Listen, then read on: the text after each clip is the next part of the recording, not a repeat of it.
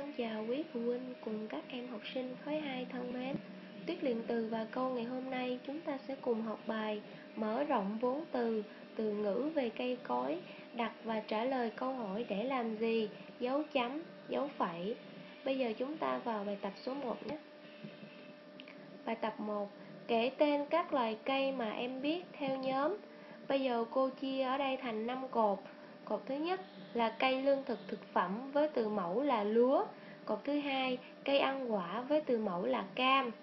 Cột thứ ba, cây lấy gỗ với từ mẫu là xoan. Cột thứ tư, cây bóng mát với từ mẫu là bàn. Cột thứ năm, cây hoa với từ mẫu là cúc. Bây giờ bằng vốn hiểu biết của mình, các em hãy suy nghĩ và điền giúp cô vào từng cột nhé. Chúng ta có 2 phút để làm bài tập này.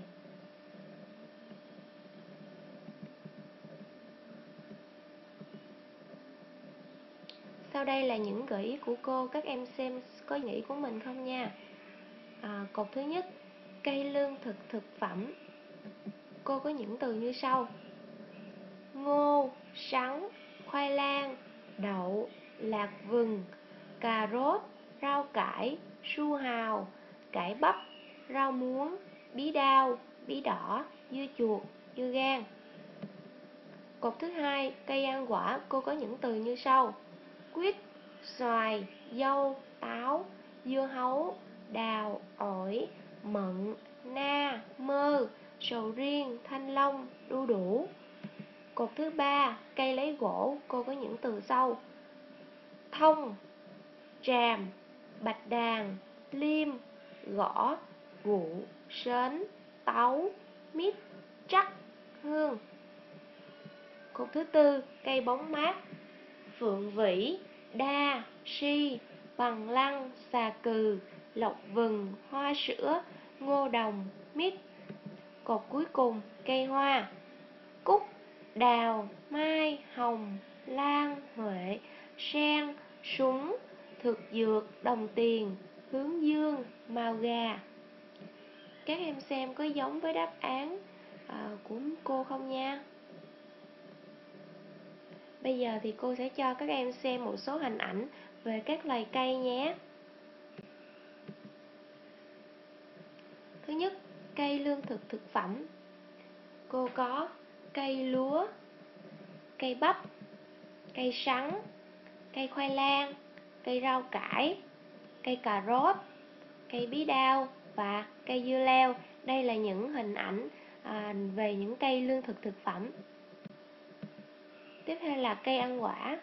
Cô có cây dừa, cây mít, cây đu đủ, cây cam, cây xoài, cây chuối.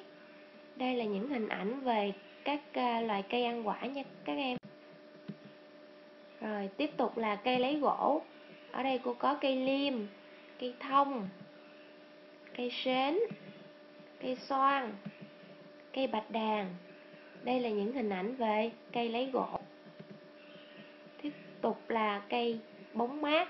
Cô có cây bàn, cây hoa sữa, cây bằng lăng, cây xà cừ, cây phượng, cây đa. Rồi đây là những hình ảnh về cây che bóng mát. Thế thì tiếp tục là những hình ảnh về cây hoa. Cô có hoa hồng, hoa đồng tiền, hoa lan, hoa sen, hoa màu gà, hoa hướng dương. Còn rất nhiều loài hoa và loài cây khác nha các em. Các em à, cố gắng tìm hiểu thêm nhé. Bài tập 1 chúng ta đã à, tìm hiểu được một số từ ngữ về các loài cây thì để tiếp theo để hiểu rõ hơn về tác dụng của chúng thì bây giờ cô trò chúng ta sẽ cùng nhau sang bài tập số 2. À, đó là dựa vào kết quả ở bài tập số 1. Hỏi đáp theo mẫu sau. Người ta trồng cây cam để làm gì? Người ta trồng cây cam để ăn quả. Trường em trồng cây bàn để làm gì? Trường em trồng cây bàn để che bóng mát. Các em hãy dựa vào tập số 1 vừa tìm được. Các em có thể dùng những cây lương thực, cây ăn quả hay là cây che bóng mát để các em có thể đặt thành những câu hỏi và những câu trả lời sau như cô nhé. Bây giờ chúng ta sẽ qua bài tập số 3 điền dấu chấm hay dấu phẩy vào ô trống. Chiều qua, Lan nhận được thư bố. Trong thư, bố dặn dò hai chị em Lan rất nhiều điều, nhưng Lan nhớ nhất lời bố dặn riêng em ở cuối thư. Con nhớ chăm bón cây cam ở đầu vườn để khi bố về, bố con mình có cam ngọt ăn nhé. Các em có một phút để suy nghĩ và điền dấu chấm, dấu phẩy vào đoạn văn trên. Kết quả như sau.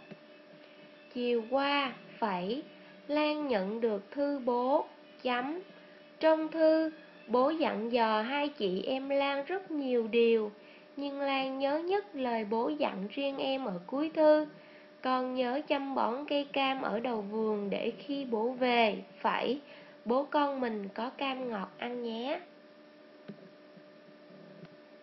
Tiết học đến đây là kết thúc. Cô chúc các em học tốt nhé.